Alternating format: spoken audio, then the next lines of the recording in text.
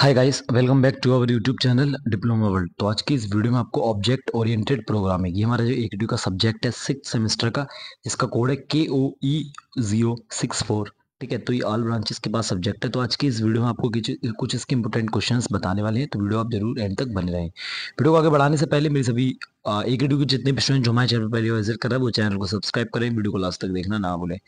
तो unit number one से start करते हैं। यूनिट नंबर वन में हमारा जो पहला क्वेश्चन है, वो what do you understand by object oriented technology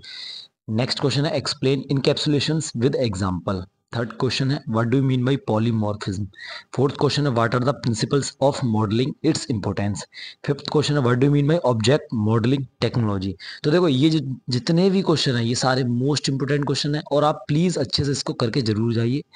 अगर आप इसको छोड़ोगे तो आपका ही नुकसान है, आप इसको जब ज़रूर करके जाना, अच्छे मार्क्स आपको मिलेंगे, मेरी गारंटी है। यूनिट नंबर टू की तरफ़ चलते हैं यूनिट नंबर टू में हमारा पहला क्वेश्चन है, वो है what do you mean by activity diagram explain in detail Next question discuss in verify basic modeling. Next question what do you understand by architectural modeling?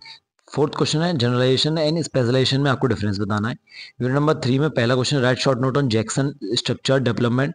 next question है short note on translating object oriented design into an implementation fourth जो unit है, जिसमें हमारा पहला question बनता है, वो है write short note on C plus plus और इसके एप्लीकेशन नेक्स्ट है, देखो ऑपरेटर्स क्या होते हैं सी प्लस प्लस में आपको बताने हैं। फिफ्थ में यूनिट है, और जिसमें हमारा पहला क्वेश्चन है डिफाइन कंस्ट्रक्टर टाइप्स और इसके प्रॉपर्टीज़ नेक्स्ट क्वेश्चन है explain types conversion with with its type type of inheritance ठीक है? ये पाँच यूनिट्स को कुछ इंपोर्टेंट क्वेश्चन है जो आपको आपके एग्ज़ाम में मिलेंगे, ही मिलेंगे तो आप इनको अच्छे से तैयार करके ज़रूर जाइए। वीडियो में अंत तक बने रहने के लिए बहुत बहुत धन्यवाद। मिलते हैं किसी और वीडियो में, तब तक के लिए ध्यान रखिए अपना। Bye bye